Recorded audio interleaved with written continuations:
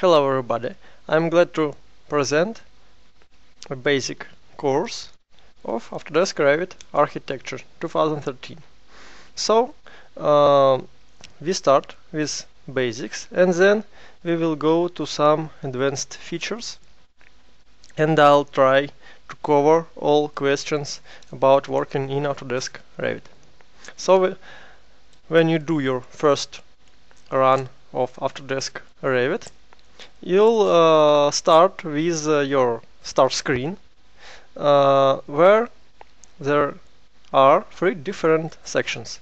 On the top you have your projects. This uh, section helps you to start or open any project and if you uh, just installed your Revit and you want to examine examine some projects you can work with for example basic or advanced sample project and uh,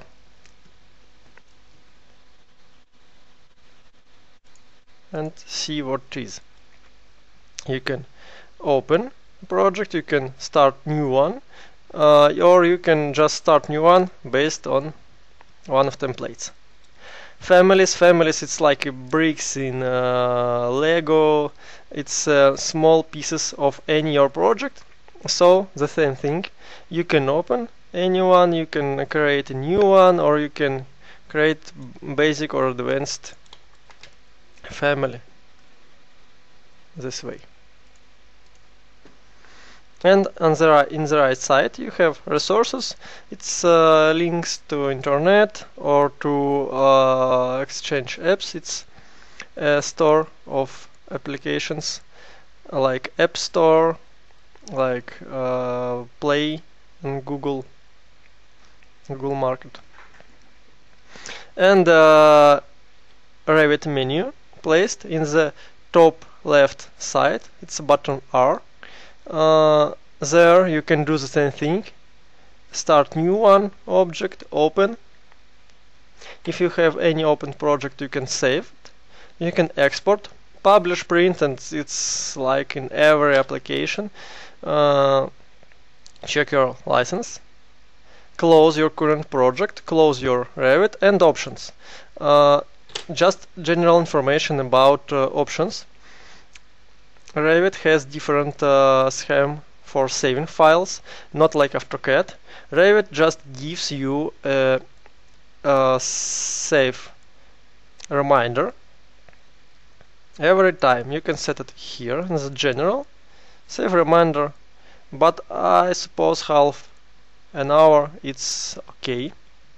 The same uh, thing uh, thing when you work in uh, one file with your colleagues username used when you work with uh, one file so it's basic settings in the user interface you can customize your keyboard shortcuts you can check your time but really it doesn't matter in graphics you can uh, you can uh, check your information about your video card but don't worry almost every card has information that it's un unknown card. This means it's just uh, video card has not been tested with Revit. It's okay.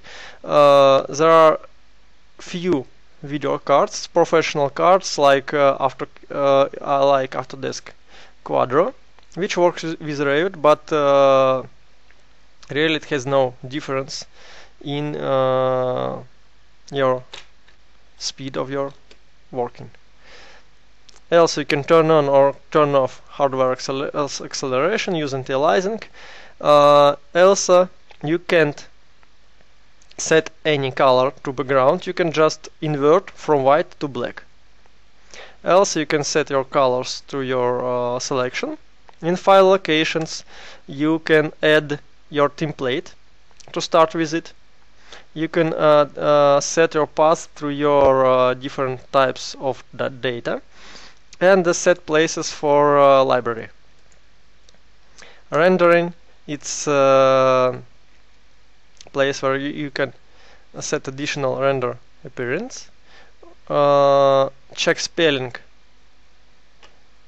by default. Steering wheels and view cube it's the same uh, like in AutoCAD and macros you can enable or disable it